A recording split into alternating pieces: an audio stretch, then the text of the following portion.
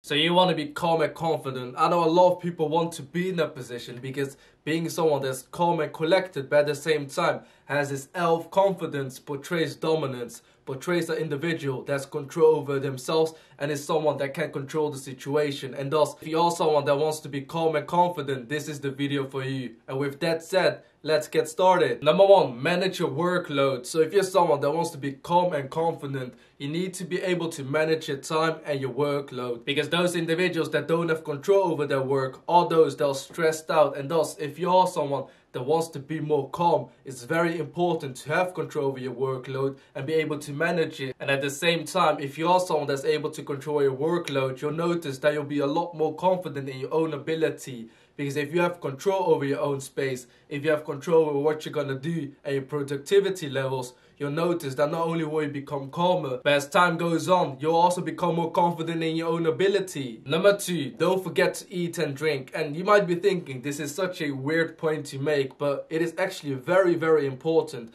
I know there are a lot of times when I'm super productive and I'm really focused on a particular thing that I simply just forget to eat and drink. And thus, if I don't do that, I'll realize that my productivity level isn't optimum. I feel a lot more stressed, mostly more unbalanced, and you don't realize it until you start to eat and drink. At that moment of time, you actually realize how much you actually needed the nutrition. And thus, if you are someone that wants to be more calm and confident, it is very fundamental that you take care of your nutrition. Always eat on the right time and drink on the right time. Don't procrastinate it for a longer period of time than you need to. Because all of us need the nutrition as fuel to be productive and to have control over situations. And on top of that, if you're someone that's tackling a big issue with an empty stomach, you're more likely to be stressed rather than calm. And thus it's very, very important to not forget to eat and drink. Number three, find relaxing habits. So if you're someone that wants to be more calm and collected, very important to find some sort of outlet where you can simply relax and be yourself. Because we live in a very productive and competitive world and thus it can really overwhelm you sometimes. And thus if you want to keep your sanity, want to stay calm and confident, it's very important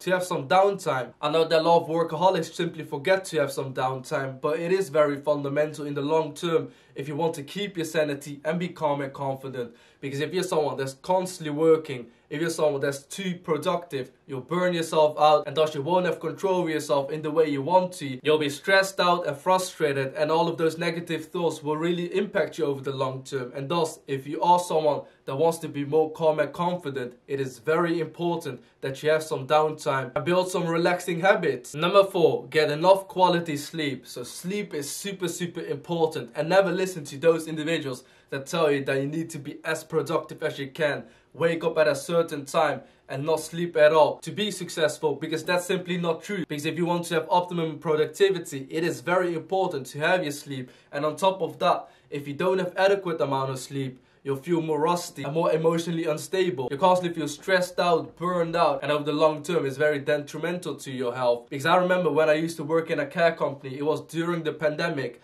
I didn't get a lot of sleep and I used to do quite a lot of hours and I definitely felt it have such a big impact on my health. I felt quite frustrated, stressed out and I didn't really enjoy life in the way I actually wanted to. And that wasn't even due to the pressure put upon me, but it was simply due to the lack of sleep. And thus, if you are someone that wants to be calm and confident, it is very important to get enough quality sleep. Number five, accept the things you can't control. So if you're someone that wants to be calm and confident, it is very important to understand that there's things in life you simply can't control. And thus, don't look at it negatively. Don't feel bad about it. Try to have a positive outlook and focus on the things you can control. Because if you focus too much on the things you can't control, it will be very hard to be calm and confident because you're focusing on the wrong things rather than focusing on the things you can control and you're really good at controlling. Because if you do that, you'll feel a lot more calmer, you feel more confident, and this way it will be a lot easier to achieve the things you want to achieve. Because one habit that I created for myself that really helps me out in my personal life is that once I realize there's something that's out of my control, or once I realize something won't go the way I want it to go, instead of complaining and feeling negative about it,